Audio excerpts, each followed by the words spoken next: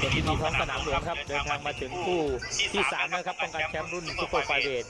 สมาคมมวย PABA ฉัตรเพชร ศิษย์หมอเส็งครับสู้กับนักมวยฟิลิปปินส์เฟอร์นันโดโอคอนกับคุณสุเดชครับฉัตรเพชร ศิษย์หมอเส็งครับอายุ18ปีครับเป็นชาวจังหวัดร้อยเอ็ดนะครับ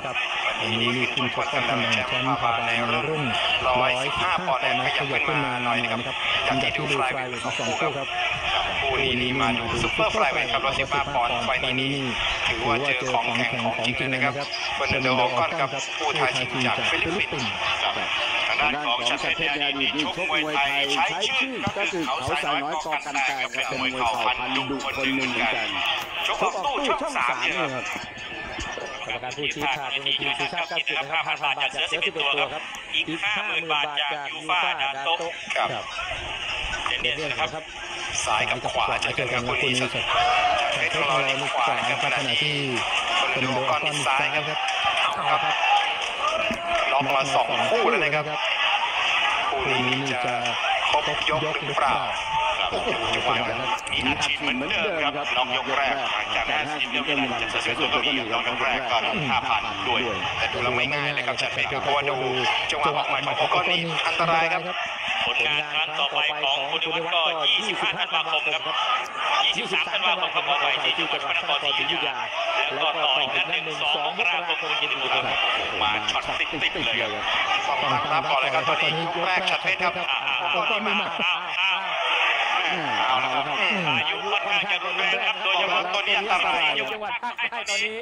คลื่นลมมันแรงครับมีมรสุมนะครับต้องระวังครับต้นต้นฉัดเพชรสิบหมอสิงห์เปิดเป็นมวยซ้ายเลยครับต่อยยากเลยครับชาเพชรก็ต้องระวังครับยกแรกก็ตัวนี้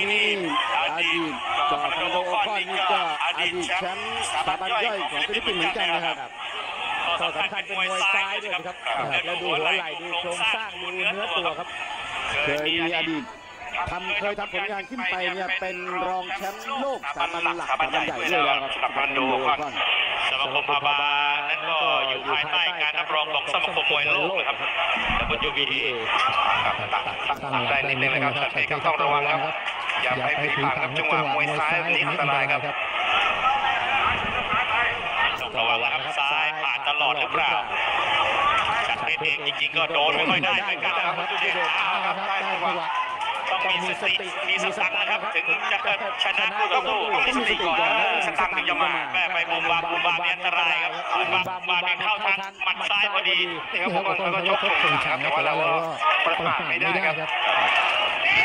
ต้องระวังบางทีเนี่ยมวยซ้ายกับมวยขวาพอมาเจอกันเนี่ยบางทีนี่มวยขวามันไม่ค่อยคุ้นกับมวยซ้ายใช่ครับมันจะเป็นจังหวะสองแรงบวกด้วยภาษามวยเขาบอกว่าจะไปไม่เป็นครับเดี๋ยวดูให้ดีครับ ผ่านยกแรกพักหายใจเข้ากันแป๊บเดียวเดี๋ยวกลับมา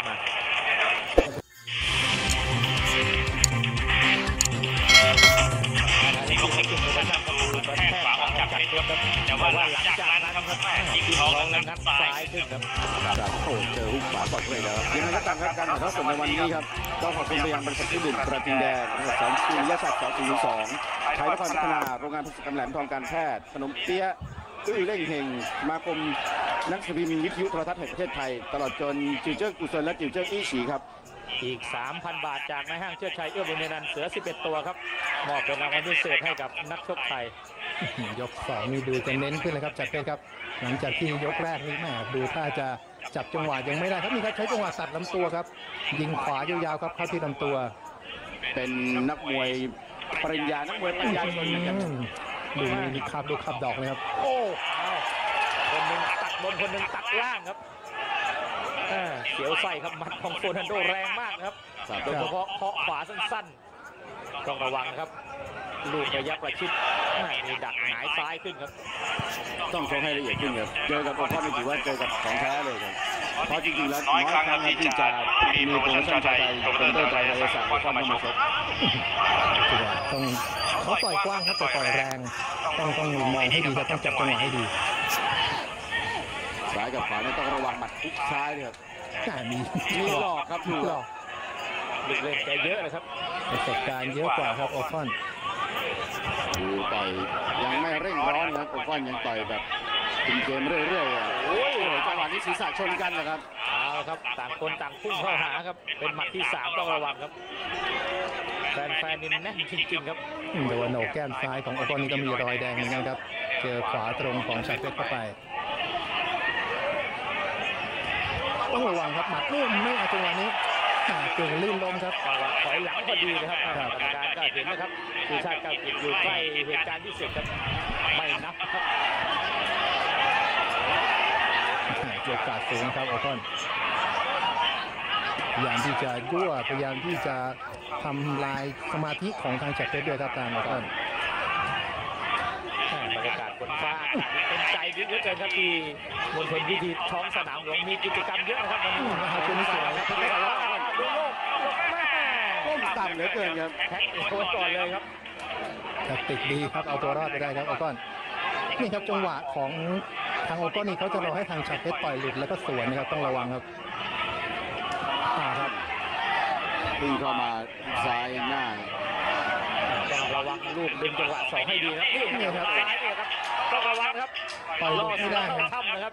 ต่อยหลุดไม่โดนเลย หลวมอะไรนี่โดนซ้ายทันทีครับต้องระวังครับแล้วดูว่าโอคอนนะแกต่อยนี่แกจะหมุนออกด้านข้างตลอดนะครับ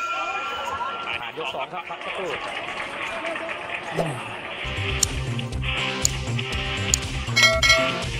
ทางการครับนี่ครับซ้ายตัดลำตัวโดนนะครับทางด้านของฉัดเพชร แต่ปลายยกเอาคืนครับจังหวะถอยหลังพอดีครับตอนนี้ลุ้นกันต่อนครับขอบคุณผู้ให้การสนับสนุนหลักครับเครื่องดื่มกระทิงแดงเสือ 11 ตัวทวินสเปเชียลคุณนรงค์ว่าประเสริฐการรีเจนซี่น้ำดื่มนะครับแสงคุณชัดคุณหมอเสงครับลุ้นกันต่อครับคุณตูพงศ์เดชครับครับฝ่ายยังเป็นฝ่ายโยกเดินเข้าหาครับทางด้านของฉัดเพชรแต่ว่าโอคอนเองก็รอดักจังหวะเนี่ยครับจังหวะออกพุกซ้ายแล้วก็พุกขวาแล้วมีจังหวะบล็อกหมัด แต่ที่สำคัญก็คือลีลาแกยั่วยวนกวนประสาทดีเหลือเกินครับโอคอนนี่ครับจังหวะหนึ่งสองที่เขาทำได้แม่นมากครับทางโอคอนครับชัดเพชรต้องรัดกุมครับเจอกับมวยแบบระดับนี้ครับอ่าดูออกไปนี้ต้องมั่นใจดูแล้วต้องเหนื่อยแน่ครับชัดเพชรเจอกับชายนี้กับดีกรีระดับอดีตรองแชมป์โลกสถาบันหลักสถาบันใหญ่นะครับโอคอนแม่โดนขวาอันหน้าอีกแล้วครับนี่ครับแม่หมัดค่อนข้างจะฟรีเลยครับโอคอนนี่จับทางลำบากแต่ต้องยอมรับว่าว่าว่าเชิงมวยจังหวะของโอคอนเนี่ยใช้ได้เลยครับ แต่ว่าก็พอโดนหมัดของมีอาการเหมือนกันใช่ครับพอโดนหมัดแล้วก็มีอาการกองเชียร์ก็สั่นใจอยากจะเห็นโอคอนโดนแล้วแกหน้าตาเย้ายวนเว้าวอนเลยอย่างนี้ใช่ครับแต่ขั้นแรกนี่ฉัตรเพชรต้องเก็บอาวุธโอคอนให้ได้ก่อนครับเพราะดูแล้วอันตรายครับ้องกันให้ดีก่อนครับอื้อหือจังหวะโยกแล้วไปโดนหมัดเนี่ยเนี่ยจังหวะโอคอนต่อยนี่จังหวะหมัดชุดของเขาก็ทำได้ดีใช่ครับก็ต้องเลิกหมัดหน้าเยอะๆครับจัดเพชรเพราะว่าถ้าหมัดหน้าไม่มีอันตรายครับนี่ครับเดี๋ยวจะต่อยหมัดหลังนี่ไล่เขาไม่ทันแน่ครับ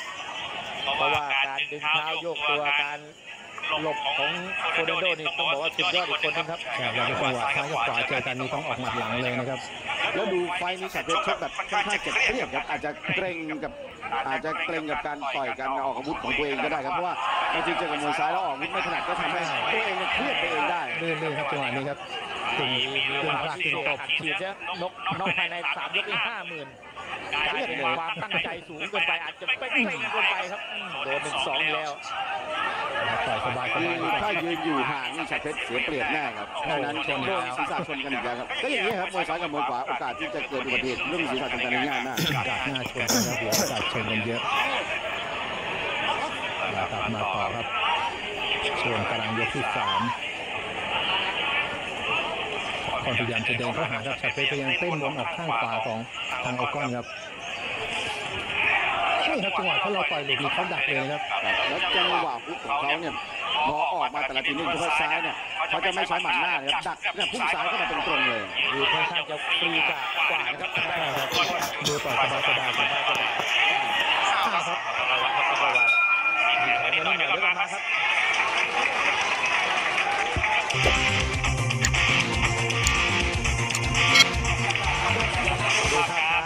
ทึกความทรงจำครับโดนหมัดของโบคอนนะครับทางด้านของฉัดเพชรปลายปลายก็พยายามจะไล่ครับนี่ครับจะลิ้งยิ่งไล่ก็ยิ่งโดนครับดูครับให้กำลังใจกันต่อครับชัดเพชรสิทธิ์หมอสิงห์ขอบคุณเครื่องดื่มตัวถึงแดงครับเสือ11ตัว เดินทางมาถึงยกที่4 ลุ้นกันต่อคุณพิเดชครับครับผมก็ถือว่าเป็นงานยากงานยากครับของทางชัดเพชรนะครับเจอกับมวยซ้ายแล้วก็เป็นมวยที่ประสบการณ์สูงครับเขาแบบฟรีสไตล์แบบนี้ทำให้จับทางค่อนข้างจะลำบากเลยนะครับเอาครับพยายามเดินไล่เป็นอีกช็อตหนึ่งที่ทำได้ดีครับทางด้านของชัดเพชรวันนี้ต้องขอบคุณไปยังบริษัทแอคคอร์ดพีเวลอิเล็กทริก1999จำกัดบริษัทสยามโยโกะจำกัด บริษัทเจริญสุขเพชรบุญชื่อจำกัดยูสเตเชียนน้ำดื่มตราลิเจนซี่มหาวิทยาลัยกรุงเทพธนบุรี ก็แก้วนาโนจุดเจิ้งปู่เซินและจุดเจิ้งอี้ฉีครับ ครับขอบคุณคุณฟ้าครับยังเหมือนเดิมครับให้กับจัดเพชรไม่เป็นไรก็ได้ขยายเวลาต้องต่อเวลามีต่อเวลาพิเศษอืมนะครับอัปแต่คัดว่าอย่าโดนคู่ต่อสู้สอยล่วงนะครับครับห้าหมื่นบาทให้ชัดเพชรช่าเดียวนะครับผติมดตามครับก็คู่นี้ครับต้องจับตาดูนะครับว่าเกมรุกในใครจะเด็ดขาดกันครับเพราะว่าทางออก้อนมีเวลาโดนหมัดของชาเปเองก็มีอาการเหมือนกันมีโอกาสที่ทางด้านของยูฟันดาโต้แดงเนนั้นจะมาร่วมกิจกรรมกับ Galaxy Boxing Promotion เลยครับคุณคธีรัรบพงศ์ในโอกาสต่อไปก็ไม่ได้อาจจะการจับมือทำงานร่วมกันครั้งหนึ่งกันเป็นการเป็นการให้การสนับสนุนนำในเรื่องของมวยดีๆ มาให้คุณผู้ชมชาวไทยได้รับชมกันแบบทั่วประเทศนะโอครับกาสที่ทางด้านของ Galaxy นั้นจะไปขยับขยายที่ต่างประเทศแล้วครับไปครับโอ้ห้าหมื่นบาทเหมือนเดิมครับจังหวะนี้จากยูฟันโอ้ระวังก่อนครับต้องระวังก่อนดูครับดูหมัดหนึ่งสองครับโอ้โหชัดเพชร เนี่ยครับยืนอยู่ห่างครับจังหวะอยู่ห่างเนี่ยคือถ้าเข้าไม่ถึงตัวนี่โดนก่อนโดนเยอะแน่นอนครับชัดเพชรฉะนั้นต้องเบียดให้ถึงครับจังหวะก็แม่นกว่านะครับใช่ข้อสำคัญต้องมีลูกนำแล้วนะครับนาทีนี้ต้องบล็อกให้แม่จังหวะบล็อกของชัดเพชรดูยังไม่ไม่แน่นครับทีมงานของสิทธิ์หมอเสงแหม่หมอเสง ก็คงจะอยู่หน้าจอครับนี่ครับจังหวะนี้เราได้ครับต้องลำตัวครับใช่ครับคือมวยเขาเร็วกว่า ต้องทอนความเร็วเขาลงมาให้ได้ครับใช่ครับต้องเน้นลำตัวแล้วก่อนก็เป้าใหญ่ครับว่าจังหวะของทางอ่าอ่าทางอุปกรณ์เองขยับออกข้างก็ต่อยหน้าลำบากครับต้องตัดลำตัวดักไว้ก่อนครับก็ต้องใกล้ๆมุดใต้ท้องแขนครับลำตัวชายโครงครับเน้นเยอะๆ ถ้าไปต่อยหน้านี่ต่อยยากนะครับดูครับใช่ครับแล้วจังหวะดึงหัวไหล่หลบโยกตัวเก่งมากครับดูครับดูการหลบตัวดูดูชัดเพชรจะเน้นในเรื่องของการต่อยบนมากเกินไปหรือเปล่าครับจังหวะออกฮุกขวาเนี่ยจังหวะฮุกขวาเนี่ยมันจะเข้าทางอยู่แล้วนะครับแต่ว่าบางทีเรายังเลือกเป้าไม่ถนัดครับดูดูโอ้โหนี่เราต่อยบนต่อยบนนี่ครับมีเวลาครับมีอารมณ์เชิญชวนนิดหน่อยครับพักก่อนครับ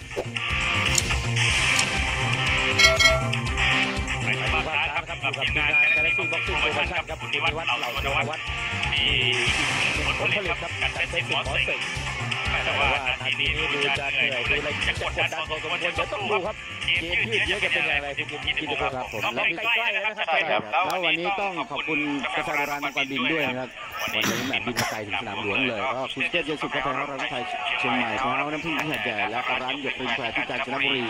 ตลอดจนบริษัทห้างขายยาตราใบหอดจำกัดบริษัทสยามโยโกะจำกัดครับโดยโยโกะเรียลพารีสอร์ท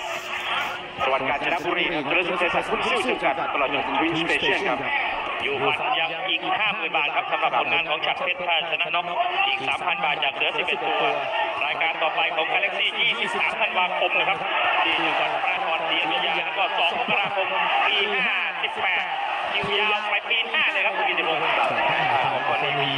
ก็ไม่ใช่จะต่อยลำตัวครับเบียดไปเรื่อยๆต้องเบียดให้ติดกันอย่างนี้นะครับต่อยแต่ว่าต่อยตรงนี้เราต้องต่อยอย่างนี้จริงๆครับเพียงแต่ว่าจังหวะจะไม่ได้ต้องออกหมัดแค่เร็วครับตัวเข้าไปว่าเขาพยายามจะ ไม่เป็นอะไรไม่เป็นอะไรแต่ว่าช้าๆรู้แล้วเหมือนกันก็อยู่ที่ตัวมันของฉัดเพชรด้วยนะครับโดนเข้าเป้าหรือเปล่าบีบีให้ถึงตัวครับเริ่มได้น้ำได้เนื้อมากขึ้นครับชัดเพชร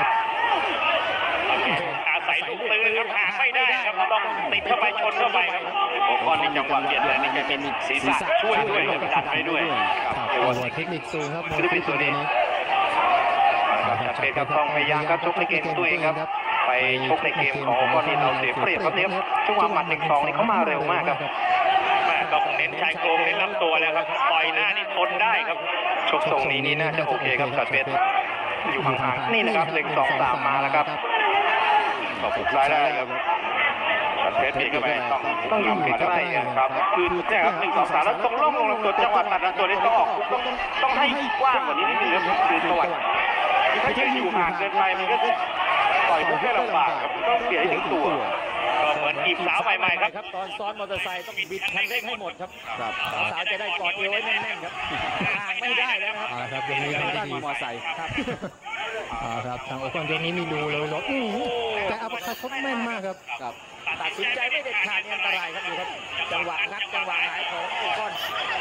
ดูครับแกปล่อยแบบฟรีๆนะครับครับไม่รู้มาอันหน้าอันหลังครับ นี่ครับโอ้โหทิ้งทั้งไหลเลยครับโอคอนไม่เป็นไรครับ เดินต่อครับช็อตเพชรครับต้องอยู่ใกล้ครับอยู่ห่างอันตรายต้องให้คุณนิวัฒน์รับดูเด็ดขาดมากครับพลังกำปั้นของนักมวยที่ลิปปินส์ไซนี้ มาแบบเต็มสูตรเต็มสามเอาละครับคุณนิวัฒน์เหล่าตัวนวัฒน์นั้นลงไปติวเข้มหลังมุมแดงนะครับ เดี๋ยวดูครับจะกลัวโอคอนหรือว่ากลัวคุณนิวัฒน์ครับทางด้านของสักเพชรครับวันนี้ต้องขอบคุณยังบริษัทชั้นหนึ่งกระทิงแดงจำกัดครับบริษัทแสงสุริยะชัด202จำกัดอ่า ริษัทชัยนครพัฒนาจำกัด บริษัทโรงงานเภสัชกรรมและทางการแพทย์จำกัด บริษัทสยามโยโกะจำกัดนะครับก็เป็นผู้ให้การสนับสนุนการถ่ายทอดสดในครั้งนี้ด้วยครับเสือที่เป็นตัวตูดมาแวงกระสายเส้นตาหัวเสือในห้างเกิดชัยแล้วก็เฟื่องทองสระบุรีอีก 3,000 บาทครับจะมอบให้กับทางด้านชัดเพชรครับมาถึงยกที่หกครับการป้องกันแชมป์บาบา115ปอนด์ของชัดเพชรกับไฟนี้นี่เจอกระดูกที่โตเลยนะครับคนเดนก้อนจากฟิลิปปินส์ครับ ห้ายกที่ผ่านมานี่แม่ถือว่าไล่ทีกันสนุกเลยทีเดียวครับมาครับแรกกันตลอดครับกดได้กดไปครับอืมเนี่ยครับเขาจะมาเป็นชุดๆครับสามสี่หมัดนะครับโกก้อนก็ดูสองแบบสองอย่างครับ ความเย็นจัดบนสังเวียนของโกก้อนนะครับขณะที่ชัดเพชรนั้นมุดเข้าหา ลงทุนติดแม่มาแรงมากครับแต่ละหมัด อ่าครับ เราต้องใช้เนี่ยครับจังหวะเบียดติดๆเนี่ยครับอยู่ห่างโชว์อยู่ดีห่างเป็นลูกข้าวเหนียวครับคุณจุเดชกับจากร้ร้ออยยเอ็ดเอ็ดนะครับเหนียวเสเดืรอดภูมิเอาครับตัดลำตัวได้ครับเอาไม่ละได้ครับคนไปครับต้องตัดลำไม่ตัวคได้รับคนไปครับเอาครับเนี่เนี่ยยพอตัดลำตัวแล้วน้ำหนักมันเขาจะเบาลงเห็นชัดเลยครับ แต่อยู่ที่ว่าชัดเพชรจะเบียดได้ถึงตัวตลอดต่อเนื่องได้สักแค่ไหนเนี่ยครับต้องเอาให้อยู่ครับเริ่มจะเริ่มจะหายใจแรงแล้วครับทุกคน เดินให้เร็วต้องวิ่งให้เร็วต้องวิ่งเข้าใส่แล้วครับแม่ไป นี่หมัดคำนะครับแค่แล้วก็อาบน้ำครับถึงว่าช่างไม่ถึงว่าช่างแบบขบวนรถไฟสายใต้ลำบากครับดูครับหมัดเขาเบาแล้วครับโอ้ข้อเนี่ยอืมมันมีหัวไหล่กระแทกนะครับกรรมการแม่เทคนิคหลายขามากครับโอก้อนมีไหล่มีหัวไหล่มีศีรษะครับครบเครื่องเลยครับดูครับนี่ครับระวังครับโดนศีรษะตัวนี้มุมได้ครับเอาครับทำท่าจะโอดเอียงเหมือนกันครับเอาครับเริ่มช้าเริ่มแผ่วครับโอก้อนชัดเพชรครับ ต้องอดทนครับต้องจัดฟันครับเครื่องติดเครื่องติดแล้วครับจัดเพชรประเภทดีเซลหรือเปล่าเลยหกยกไปแล้วมาแล้วครับเอ้ามาแล้วมาแล้วมีกดอยู่ซิไม่อยู่อยู่ไม่อยู่ครับอ่าครับถ้าทรหดใครจะดีกว่ากันแล้วครับโอก้อนกับชัดเพชรชักจะเป่าปากแล้วเหมือนกันครับดีเซลดีเซลราคาไม่ขยับคุณดินพงศ์ใช่ครับมาแล้วมาแล้วมาแล้วติดไม่ติดเอาหัวนานหน่อยครับโอ้โหแต่ว่ากว่าจะถึงตัวอ้าวโดนท้องโดนหน้าเดี๋ยวครับสวยพักดวนพักดวนโอ้โหสนุกจริงๆนะครับสนุกให้ท่านมาการครับผลงานของทั้งคู่ครับเริ่มจะเข้มข้นนะครับผ่านไปครึ่งทางหกยกปลายยกนี่เครื่องติดครับประเภทดีเซลครับเสรภูมิร้อยเอ็ดนะครับจัดเพชรสิทธิ์หมอเสงลูกศิษย์ของ หมอเสงครับอ้าวลุ้นกันต่อคุณกิติพงศ์คุณเสด็จครับครับก็มาถึงยกนี้ยังต้องเปิดเกมต้องเบียดเข้าไปครับผ่านครึ่งทางมาแล้วเข้าสู่ช่วงของยกที่ 7 ครับชัดเพชรยังต้องขยับเดินเข้าใส่ครับอ่าเริ่มจะทิ้งขวาตรง มีล่างมีบนครับต้องออกไปเรื่อยครับแล้วก็ที่สำคัญคือต้องบล็อกเขาให้อยู่ด้วยครับเพราะว่าต้องฝ่าฝ่าพายุกำปั้นเข้าไปด้วยต้องอยู่ติดๆครับยกที่แล้วนี่ต่อยลำตัวจนโอก้อนนี่โอนไปเอ็นมาทำท่าเป่าปากเหมือนกันครับครับ ดูว่ากางเกงขอบกางเกงเริ่มจะคับเมื่อไหร่ก็ได้เรื่องนะครับนี่ครับเอาโอ้โหนี่ครับศีรเขาษะมีศีรษะนี่ครับศีรษะกับหัวไหล่กรรมการกรรมการยังเฉยครับเพราะครับ หลายจังหวะแล้วครับที่โอคอนบล็อกเข้ามาแล้วตั้งใจเลยครับดูใช่เรามองเห็นว่าเป็นลูกตั้งใจเลยครับคือตั้งศีรษะเข้ามาเลย ก็ต้องระวังนะครับ เป็นเรื่องปกติเป็นเรื่องธรรมชาติครับซ้ายกับขวา ถ้าคนหนึงไม่โยกหลบก็กลายเป็นหมัดพุ่งเข้าหาครับ ต้องแฟนๆนั้นรอลุ้นอยู่ครับคุณจิเดชคุณกิติพงศ์โอ้โหยิ่งดูแฟนมวยครับรอบๆเวทีมีเรือนหมื่นเลยนะครับวันนี้เอาครับตัดลำตัวโอ้ก็พยายามสวนมาทุกซ้ายของฉัดเพชรครับเข้าหน้าโอคอนสะบัดเหมือนกันเนี่ยเริ่มจะดีขึ้นมาเรื่อยๆนะครับฉัดเพชรสิทธิ์หมอเสงครับแต่ยังประมาทไม่ได้ครับหมัดชุดเขายังอันตรายครับโอก้อนชัดเพชรครับต่อยที่ดีครับตรงนี้เอาครับหนึ่งสองเริ่มจะไม่มีเล่นเลยครับผมจาก ย่มีรอบเลยชิดจะไม่มีเริ่มเริ่มไม่ออกเริ่มยิงไม่ออกอกเลยแล้วครับครับโดนครับแรกได้ทีเดียวก็ได้สามเม็ดกับชัดเพชรนะครับพี่แล้วบอกให้โออนรู้แล้วตัวเองโดนโดนได้ทีนี้พี่ตาโออนบ้างแล้วดูโยนดูชัดเพชรแล้วจะเป็นยังไงครับวัดกันครับที่ท่าตลอดครับคู่นี้ลูกหนักลูกแรงนี่โอคอนดูดีครับแต่ว่าจังหวะต่อเนื่องจังหวะความอดทนนี่ดูแลวชัดเพชรเราเหนือกว่า โชคดีผ่านจากมวยไทยมาเยอะครับมวยไทยเจ็บกว่านี้เยอะครับทั้งหมัดทั้งศอกทั้งเข่าแม่วันนี้หมัดหน้าของชัดเพชรอาจจะไม่ยิดยัดเท่าไหร่ครับต่อยยากกับหมัดหน้าคือต่อยมวยซ้ายกับมวยขวานี่ก็อย่างว่าครับจะหมัดหน้าจะใช้ไปยากยากออกแล้วค่อนข้างยากตกเป็นสองไม่ทำครับใช่ไหมครับพอซ้ายกับแข้งขวาตามเต็มเร็วเร็วยังมีโอกาสครับไปรอให้คู่ต่อสู้ยับก่อนไม่ได้ครับ จะมีปัญญาใครหล่นหรือเปล่าหมดยกพอดีครับ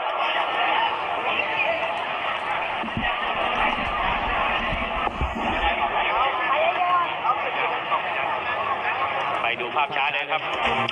ตรงนี้ชมกันยาวๆต่อเนื่องครับดูครับ แล้วดูล้วงลำตัวของชัดเพชรครับนี่ครับเข้ามานี่มา สามสี่เม็ดพร้อมๆกันครับใช่ครับ ไม่ใช่มาทีเดียวนะครับครับมีบนสลับล่างครับ แต่ว่าน้ำหนักหมัดก็ดูน้อยลงไปครับ เพราะว่ายกสงครามของแต่ยกที่ผ่านมาเนี่ย ทางชัดเพชรนี่ต่อยตัดลำตัวได้เยอะมากขึ้นนะครับ นี่ครับบรรยากาศสดๆนะครับที่วัดเหล่าสุวรรณวัฒน์ต้องไปติวเข้มเลยนะครับ เพราะว่าการชกค่อนข้างที่จะตึงเครียดครับมวยคู่นี้นี่คู่ขี้สูสีครับที่อนันโตเลครับ ก็อยู่ที่จังหวะการสับเท้าของฉัดเพชรสิทธิ์หมอเสงแล้วครับ ขยับเร็วเมื่อไหร่ก็มีโอกาสได้ลุ้นนะครับ ดูระบบหายใจของนักมวยจากฟิลิปปินส์รายนี้ เริ่มจะเห็นชัดครับลำตัวหายใจในเวทีนี่เป็นทางเด่นเก้าแสนกระทิงแดงยิงครับ มาเป็นพี่เลี้ยงครับให้กับทางชัดเพชรครับข้างหลังนี่กับนพกระทิงแดงยิงครับแชมป์พบา122ครับหมามากันทั้งค่ายครับวันนี้ขอบคุณต่อนะครับ ขอบคุณเครื่องดื่มกระทิงแดงครับ ขอบคุณเสือ11ตัวในห้างเชือดชัยเอื้อบุญญาณขอบคุณยูฟันครับ ขอบคุณเฮียตียาผมยาเขียวตาใบพอยกที่แปดครับในห้าง แสงสุริยชัดเครื่องดื่มกระทิงแดงไทยนครพัฒนาแหลมทองการแพทย์ครับสบู่สยามโยโกะครับอะลุ้นกันต่อครับอ่าครับมายกนี้ครับทางชัดเพชรครับขยับขยับเดินเข้าหาครับ นี่ครับมวยซ้ายกับมวยขวาครับต้องจับจังหวะให้ดีครับเพราะว่าเป็นจังหวะไหนต่อยหลุดนี่โดนสวนง่ายๆเลยครับ ครับที่ผ่านมาก็ดูว่าฉัดเพชรสถานการณ์ของฉัดเพชรก็ดูดีขึ้นเรื่อยๆครับดีขึ้นตามลำดับครับ แล้วต้องบอกว่าอีกสิ่งหนึ่งที่ทำให้เพชรตัดได้คือแรงใจจากพี่น้องประชาชนรอบสังเวียนนี่แหละครับเยอะมากครับไฟล์นี้ ขวาดอกนี้โดนเต็มๆเลยนะครับ ไม่เล่นแล้วครับโดนเข้าไป โอ้ยนี่ครับ overhand ซ้ายนี่ครับอย่าต่อยหลุดครับถ้าหลุดนี้เราโดนแน่ครับพยายามจะฮึดขึ้นมาอีกรอบหนึ่งเหมือนกันครับโอคอนนาโอคอนโอ้โหเอาละครับฉัตรเพชรเบียดต้องเบียดให้ถึงครับคือถ้าอยู่ห่างเนี่ยอย่างที่ว่าครับ อยู่ในระยะหมัดของเขาใกล้ๆครับใกล้ๆครับลูกเล่นอย่างนี้โอ้ฉัตรเพชรต้องลุ้นใกล้ๆครับนี่ครับเขาทิ้งทิ้งทั้งไหลเหมือนกันครับเดี๋ยวมาดู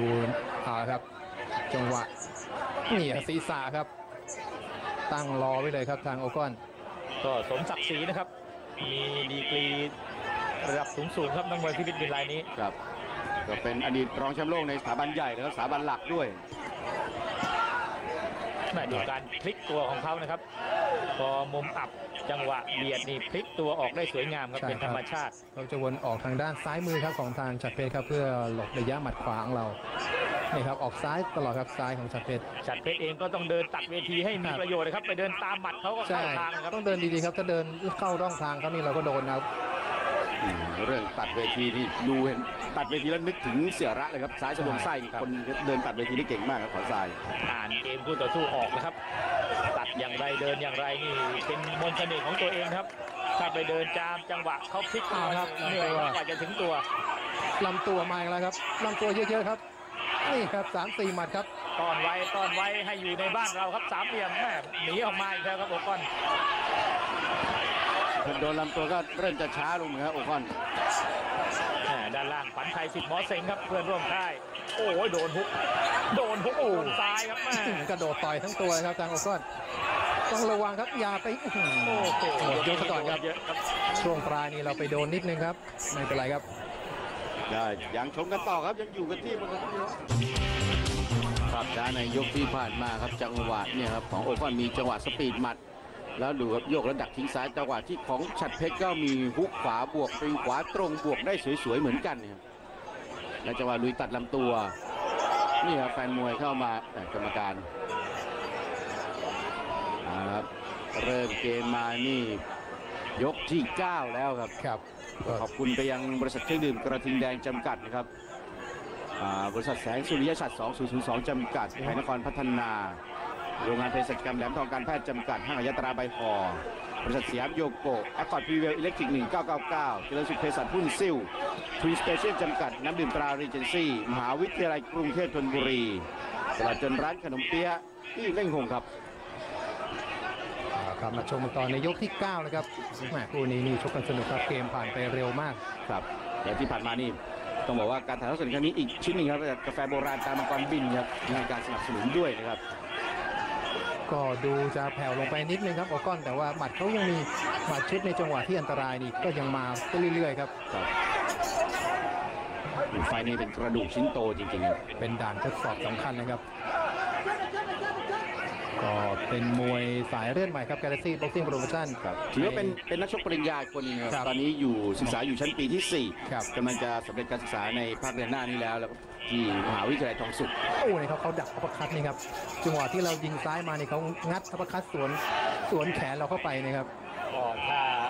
ประหยัดเมื่อไหร่ก็โดนทันทีครับ ครับอยู่ระยะห่างก็จะโดนซ้ายบ้างขวาบ้างฟุตเวิร์กต้องดีคเวิรับร์กสเต็ปข้อเท้าของ โอกองนี่แม่ยืนแล้วยืนเป็นธรรมชาติที่สำคัญของเราน่ะท้อไม่ได้ครับยืนแล้วไม่เท้าไม่ตายครับคุณผู้ชมครับยืนด้วยปลายเท้า คือถ้ามองกันจริงๆแล้วโอคอนมีจังหวะสปีดหมัดที่ทำได้ดีครับทรงมวยออกอาวุธได้สวยงาม แต่จังหวะที่โดนของฉัดเพชรเข้าไปเนี่ยก็มีอาการเหมือนกันใช่ครับเนี่ยครับดูบวกฮุกขวาครับฉัดเพชรเองก็บวกฮุกขวาก็เต็มหน้าของโอคอนเหมือนกันโอ้ก็นี่นานๆมาทีครับแต่มามานี่ชุดใหญ่ทั้งนั้นเลยครับ แล้วที่สำคัญก็คือถ้ามองกันตามรูปเกมแล้วเนี่ยชัดเพชรเป็นฝ่ายเปิดเกมเดินเข้าใส่ตลอดใช่ครับได้ลูกขยันกว่าครับทางชัดเพชรก็ต้องรอรุ้นนะครับจะออกมาเป็นอย่างไรครับมวยคู่นี้เอาละครับขยับขยับเข้าหานี่ครับชัดเพชรครับยกนี้นี่ดูโอคอนจะพยายามเร่งขึ้นมานี่ครับเขาชกแบบรอจังหวะให้เราหลุดนะครับครับทางโอคอนนี่มีจังหวะลูกเล่นลูกฮานี่ยังมีอยู่ครับทางโอคอนแต่ พอเริ่มจะหายใจได้ก็มีมาอีกแล้วครับหมดยกที่9ครับส่วนในวันนี้ต้องขอบคุณไปยังสอบเจ้านาโนครับจิวเจิ้งกูเซินและจิวเจิ้งอีฉีตลอดจนกาแฟโบราณตรามังกรบินครับของอ่าบุญโด่งผลเจริญคุณบุญโด่งผลเจริญวันนี้นำทีมมาเลยครับ ต้องขอบคุณศูนย์วิทยุพระรามเก้าทีมงานโคคู่นะครับที่สนับสนุนการประสานงานของทีมถ่ายทอดสดสิ่งงานอีกชิ้นหนึงก็หน่วยงานที่สิ่งก็ต้องยูฟันแหละครับครับยังอาชีพอยู่นะครับห้าหมื่นครับหมายศีรษะชงกันอีกแล้วนาทีสามยกที่เหลือครับ9 10 11 12ดู ว่าจะเป็นอย่างไรนะครับ มาถึงยกที่10แล้วครับตอนนี้ลุยต่อยลำตัวต่อไปครับต้องเบียดให้เลยครับเอาครับหนึ่งสองสามแล้วตัดลำตัวอย่างนี้นะครับ ต้องชกทรงนี้ครับชกที่แล้วนี่เราเข้าช้าครับ พอช้ากลายเป็นโอคอนชกง่ายเลย โอ้โอ้โหโหเอาเอาคครัรับบครับสวยครับ โดนเข้าไปนี่ถึงกับแกว่งเหมือนกันครับทางด้านของชัดเพชรอ่าครับต้องคุมจังหวะให้ดีครับอุ้ยเขาทิ้งทั้งตัวครับนี่ครับมาทั้งไหล่ทิ้งทั้งตัวครับโอคอนคอสคว้างแล้วนะครับ ต้องระวังครับเอาละครับ เรานั้นโดนแล้วทนได้นะครับ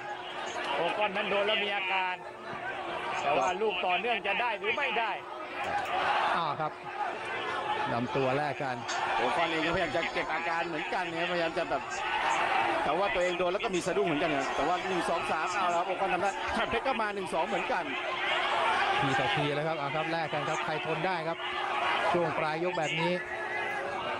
อ่าพอหลังทิ้งเชือกแตะเชือกนี่หมุนตัวพลิกตัวออกเก่งมากครับเอาโดนหมัดหนึ่งสองก็ไปอีก แม่แฟนๆนั้นโบกให้เดินเร็วๆเดินเร็วๆครับชัดเพชรเดินช้าไม่ได้ครับ เดินเร็วแต่ต้องรัดกุมนิดนึงครับชัดเพชรครับเอาละครับแหมยกนี้นี่ต้นยกนี้แรกกันเดือดเลยทีเดียวเอาละครับคืออย่าปล่อยให้เขาได้หายใจอะครับใช่ครับพอเขาพอเดินเดินไปแล้วเนี่ยเดินต้องเดินให้ตลอดครับฉัตรเพชรไปเดินแล้วเดินไม่สุดครับ ถ้าภาษาอีสานก็ลูกข้าวเหนียวต้องบักอึดอย่างเดียวไม่เอาหัวโป่งเข้าไปเลยครับใช่ครับเป็น tactic เขาลูกนี้เห็นชัดเจนครับ โอ้ยช่างร้ายเหลือครับประสบการณ์ของโอคอนเด่นเก้าแสนบอกให้ต่อยลำตัวเยอะๆครับแม่แต่ว่าทางแชมเปี้ยนนี่ยังหาจังหวะต่อยลำตัวลำบากอยู่ครับอืมนี่ครับเราต่อยหลุดนี่เขาหลุดเขารอเลยครับต้องมั่นใจครับจังหวะที่ออกหมัดโอ้แล้วสปีดหมัดของเขาเนี่ยเร็วครับ แม่มีมีหลอกครับดูลีลาการพลิกตัวนะครับ การต่อยมาแบบไม่มีทิศทาง ต้องอดทนครับโอ้ดูครับ อย่าไปหลงตามเขาครับทางจากเพชรมียั่วยวนอารมณ์ด้วยครับเอาละครับเราภาพช้าในยกที่ผ่านมาเนี่ยครับจังหวะลุยต่อยลำตัวของชาเพชรเนี่ยคือถ้าทำได้ต่อเนื่องเนี่ยโอคอนโอคอนเองก็มีอาการตลอดเหมือนกันครับ เขาเองก็ยุบแผ่วลงไปเยอะเหมือนกันครับแต่ว่าจังหวะสวนนะครับพอเราเขาต่อยเราโดนนี่เราก็แหมมีอาการเห็นกัน มาถึงยกที่ 11 บ้างครับสองยกสุดท้ายแล้วนะครับ การป้องกันแชมป์ PABA ในรุ่น super flyweight มาครับตัดลำตัวชุดนี้ตัวแข็งเลยหรือเปล่าครับโอก้อนอ่าเป็นหนังอินเดียก็วิ่งข้ามภูเขาประมาณ 3 ลูกแล้วนะครับใกล้จะถึงโค้งสุดท้ายแล้ว ไม่ใช่หนังจีนนะครับ ออกมาฉากสองฉากแล้วโชว์ชาโชว์ชาอ่าครับชุดนี้ชุดนี้สวย แม่แต่จังหวะนะครับใช้ไหล่ใช้ศีรษะครับดันจนฉัดใช้กระเด็นเลยครับครับคือมวยโอคอนอาจจะไม่ใช่มวยประเภทโต้งเดียวจ่อยนะแต่ว่าเป็นมวยที่ต่อยได้เร็วดึกเล่นเยอะๆด้วยครับจังหวะเสียเปรียบนี่มีศีรษะกระแทกนำก่อนด้วยคือแก้ปัญหาเอาตัวรอดได้ดีครับโอคอนใช่ครับความเบาเก่งนะครับใน การชูชาติก้าวกิจเองก็ดูวันนี้ดูจะปล่อยฟรีๆก็ไม่เกรงเงินต่อไปไม่ได้เกรงใครใช่ครับไม่ไม่ได้เบรกเกมเยอะอ่าครับเนี่ยจังหวะอัปคัตมานี่ครับเราต้องต่อยต่อยให้สุดครับ เดินต้องเดินให้สุด ไปเดินครึ่งครึ่งกลางๆแบบนี้นี่โอคอนได้โอกาสพักด้วยโอ้โหหักพลิกซ้ายลำตัวสองหมัดซ้อนเลยอ๋อไม่ได้ครับชัดเพชรครับ ต้องขยันครับต้องอดทนต้องขยัน จังหวะเราไปลองเขานิดนึงครับแต่เราได้ลูกขยันตะโกนใหญ่เลยครับลุ้นฉัตรเพชรนะครับโอ้โหแบบนี้นี่นักชกในค่ายประสบความสำเร็จกันไปหมดแล้วครับเดี๋ยวลุ้นรายสุดท้ายคนนี้แหละครับครับวันนี้มีป้องกันแชมป์ถึง3คู่เลยเลยครับวันนี้ Galaxy Boxing Promotion อีกจัดใหญ่เลยนะครับเนื่องในวันที่5ธันวามหาราชนี่แฟนๆก็เนืองแน่นจริงๆนะครับครับรอบทิศเลยครับสนามมวยของสนามโยนี่สีเหลืองเครียดไปหมดเลยนะครับแม่จังหวะหนีบหมัดนี่ครับเทคนิคเขาเยอะมากครับทางฟิลิปปินส์เทคนิคเอาตัวรอดเทคนิคชิงจังหวะเทคนิคทำลายจังหวะของเรา ครับชัดเจนต้องชกด้วยเรียกว่าการคุมสติคุมอารมณ์ของตัวเองให้ได้ครับต้องอย่าไปวนตามหมัดเขาอะคือเขาจังหวะวนออกด้านข้างเนี่ยจะเลยต้องต้องตัดครับต้องขวางต้องขวางให้ได้นะครับไปกลายเป็นว่าพอเขาเดินไปออกหมัดเนี่ยเราไปวนตามเขานี่วนไปหาเขาโดนเยอะเลยใช่ครับวนไปหาเขาแล้วก็โดนอัปคัตเขานะครับนี่ครับเนี่ยจังหวะนี้หมัดถ้าเราผ่านไปนี่โดนเหมือนกันครับครับ ยกนี้ดูจะวืดวาดเป็นส่วนใหญ่ครับจัดเพชรตัวล้มเยอะนะครับอ่าครับเดี๋ยวยกสุดท้ายนะครับก่อนจะถึงยกสุดท้ายครับนี่ผลงานยกที่สิบเอ็ดนี่ครับมาปลายยกกันต่อยได้ดีนะครับจัดเพชรโดนหน้าเหนียวหน้าหงายเหมือนกันครับดูกันต่อครับคุณกิติพงศ์ครับยกสุดท้ายแล้วครับแล้วก็นี่เป็นมวยสากลฟุตบอลการถ่ายทอดสดในวันนี้ครับมวยโลก5ธันวามหาราชที่มณฑลพิธีสนาม หลวงช่องวีสตาร์เอสดีครับถ่ายทอดสดให้ทุกคนได้รับชมกันก็ยกสุดท้ายครับผมการของต้องขอบคุณไปยังบริษัทเครื่องดื่มกระทิงแดงจำกัดนะครับบริษัทแสงสุริยะฉัตร202จำกัดและพัฒนาโรงงานเภสัชกรรมแหลมทองการแพทย์ห้างขายยาตราเสร็จเอ็ดตัวครับ แล้วก็สำหรับข้อมูลในการบรรยายในวันนี้ก็ขอบคุณไปยังหนังสือพิมพ์เสียงที่รายวันมวยแสงรายวันมวยแสงรายสัปดาห์และนิตยสารมวยโลกด้วยนะครับ ยกสุดท้าย ไล่แล้วครับจัดเพชรเอาละมีครับอะไรต้องโชว์แล้วครับชัดเพชรทองใจแฟนๆให้ได้ครับ แรงเชียร์รอบๆสนามหลวงนี่เยอะกว่าครับชื่นมหาชนลุ้นครับลุ้นโอ้โหดูเสียงตะโกนครับเอาละครับ แล้วดูฟอร์นันโดโดนแล้วดูทำท่าเหมือนอาการไม่ดีอีกแล้วนะครับ ครับดูว่าโดนเยอะครับต้นต้นยกนี่เอาละครับจะเช็คบินแบบไม่ครบยกได้หรือเปล่าครับแต่เพชรจะกอดจะยื้อเอาไว้อะถ่วงเวลาครับ ขอเวลาหายใจนิดนึงครับโอก้อน อืมฉัดเพชรครับต้องเร่งให้สุดครับ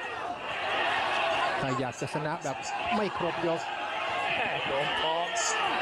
ทำท่าเหมือนอยากจะรวบเหมือนกันครับเดินหน้าไม่เป็นไรครับแม่ดูว่าอ้าวโดนนี่ครับศีรษะเขามาก่อนเลยครับทำให้จังหวะบุกเรานี่ชะงักไปเหมือนกันอ่าสามารถตั้งหลังในชุดหนึ่งเอาครับต้อนมามุมกลางครับต้อนมามุมกลางเอาครับอังต่อยท้องนี่ขาลอยนะครับมีไหล่ดันมาอีกครับโอก้อน เอาครับจะเร่งได้หรือเปล่าครับช่วงก๊อกสุดท้ายแล้วเจ้าแหวมาหนึ่งเก้าแสนนี่ตะโกนสุดเสียงเลยนะครับ บอกว่าให้กระแทกซ้ายเยอะๆแล้วขวาตามหนึ่งสองสาม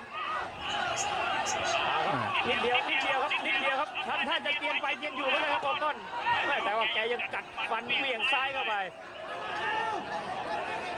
โอ้วันนี้คุ้มค่าเข้มข้นเหลือเกินครับ มีหลายอัตรสนะครับ แต่เพชรเองก็อ่าต้องบอกว่าเหนื่อยแล้ววันนี้ ลงทุนเดินมาตั้งแต่ยกแรกครับแล้วก็มาถึงยกสุดท้ายแล้วขึ้นไปอ่าครับก็ลงเวียนไปครับเจอหมัดชุดของชัดเพชรเข้าไปแฟนๆมวยก็อยากให้น็อกครับครับเอาครับแต่ว่าตอนนี้ทั้งแฟนมวยทั้งกลุ่มสปอนเซอร์เพื่อการสนับสนุนได้โดดลงมาเชียร์ข้างเวทีกันหมดแล้วเอาครับให้กำลังใจครับจากเพชรสิทธิ์หอเสงโอ้โหต่อยผิดเกือบเสียหลักเอาครับ นี่ครับจังหวะเขามีไหล่ช่วยครับตอนนี้เป็นฟรีสไตล์ครับฟรีสไตล์สาวต่อสาวเลยครับเวทีเออแล้วสาวรุ่นๆเลยครับ17 18ครับสาวกันอุตลุดครับเบสิกไม่มีเลยครับตอนนี้เหลือแต่ใจนะเหลือแต่ใจครับไม่ใช่สาวใหญ่นะครับสาว17 18ครับเอาละครับทีมงานสิทธิ์หอเสงโบกใส่เต็มที่ใส่เต็มที่ใส่เต็มที่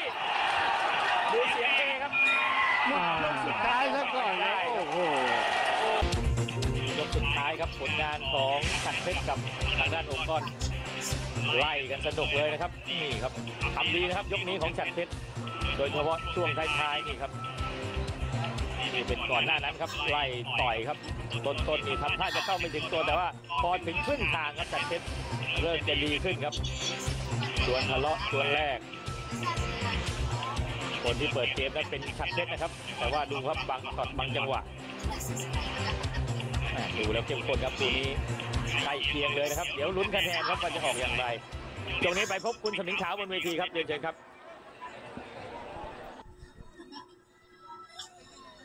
ท่านผู้มีเกียรติที่เคารพผลคะแนนของกรรมการทั้ง 3 ท่าน กรรมการวรศักดิ์พักดีคำให้ชาติเพชร113 ให้โอคอน 115 กรรมการพินิจประหยัดทรัพย์ ให้ชาตเพชร114ให้โอคอน114กรรมการยังซุปทิม ให้ฉัดเพชรร้อยสิบเจ็ดให้โอคอนร้อยสิบสองคู่นี้เป็นอันว่าเสมอกันนะครับ เสมอกัน นี่นะครับตำแหน่งแชมป์ยังอยู่กับเรานะครับตำแหน่งแชมป์ยังอยู่กับเรา ในโอกาสนี้นะครับขอเรียนเชิญประธานในวยการจัดนะครับ ท่านสมาชิกสภา